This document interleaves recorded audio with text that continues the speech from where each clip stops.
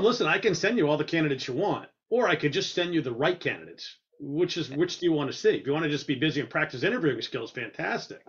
But if you want to just see quality candidates, then awesome. Like I just, I literally just had this conversation this morning with a client uh, because we were like literally going to lose a deal for fifteen thousand dollars. You know, it was it's nothing for a guy that's going to bring in a million dollars in revenue.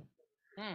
And you know, we literally just had this conversation. I was telling him, I mean, this is you're a startup company. You've got the, you know, you're a 17 person company. How many people do you think want to go to a 17 person company in a crowded space in this particular market? You know, don't lose a rock star for 15 grand. Um, you know, and it was, you know, basically got him over the hurdle to, to understand the reality.